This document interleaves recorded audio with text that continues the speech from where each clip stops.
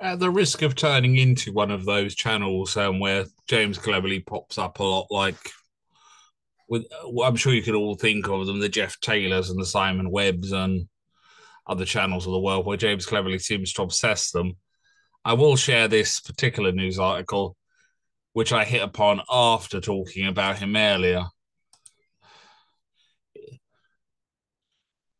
Tories still need to find 150 candidates following MP Exodus. And James Cleverly informs us we've got a terrific pool of candidates. He doesn't say for what, though. that's the problem. What's this terrific pool of candidates? Are they going to be part of your new national service scheme, James? They're going to be. Uh, the Conservative Party still have to find candidates to standing around 150 constituencies, the party admit. So just shy of a quarter of them candidates constituencies in Britain. A source said the party had candidates in around three, in place in three quarters of the seats in Great Britain. That would mean it had only filled 474 seats, leaving 158 to be found.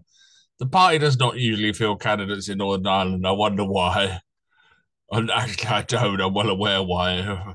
The deadline for candidates to be nominated is the June the 7th, and today it's the 26th of May. So uh, you'd better get a crack on, hadn't you, with this pool of terrific candidates of yours, uh, uh, James?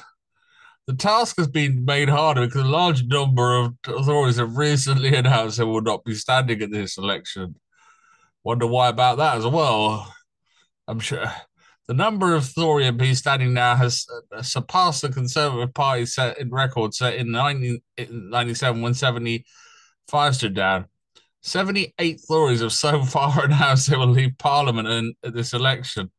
The most senior of these was Michael Gove, who made his announcement on Friday evening. The Tory said the Conservative Party is well prepared, with three quarters of seats already selected with excellent Conservative candidates. They're probably terrific as well.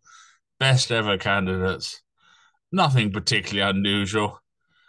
So Cleverly, the Home Secretary was asked about the large uh, number of candidates who have not been yet been chosen on Sky News on Sunday morning. The selection process has been going on. There were lots of places where the selection was just on the verge of happening. I've been chairman of the party. You always have to do selections right up until the last minute. There is nothing particularly unusual of that.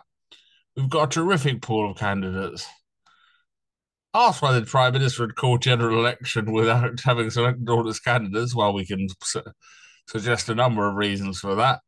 Uh, Mr. Cleverly said the reason we've called election now is we've seen elect- inflation return to normal levels. We've seen the economic indicators heading in the right direction. We're a position now where we can show our plan is working. There's always going to be pros and cons for any time of election. I'd much rather be campaigning in the early spring than late autumn. But we are ready to make what is a bold move because we're confident of our offer to the British people. Um, yeah, okay, fair enough. You have, uh, I, I could call it a lens about that, but I think the phrase is satirizes itself. Let's see how many of these candidates you find in the next all two weeks or so.